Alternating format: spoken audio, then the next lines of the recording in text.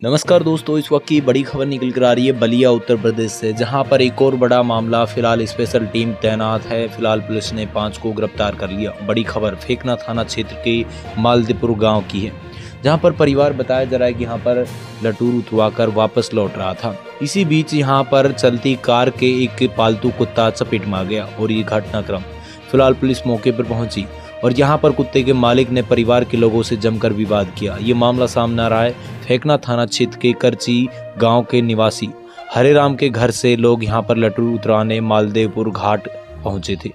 यहाँ जहाँ सब कुछ सही सलामत संपन्न हुआ, इसके बाद बोलेरो ट्रैक्टर से अपने घर लौट रहे थे। मालदेपुर गाँव के समीच अचानक बोलेरो के सामने पालतू कुत्ता आ गया, जो उसका मालिक भी मौजूद था। इसी बीच दोनों में जमकर विवाद हुआ और परिवार के लोगों से भिड़ गया। जमकर विवाद होने लगा। पुलिस मौके पर पहुँची, चार से पाँच को हिरासत में ले लिया और जमकर विवाद हुआ। इसमें चार से पाँच महिलाओं के हालात ठीक नहीं।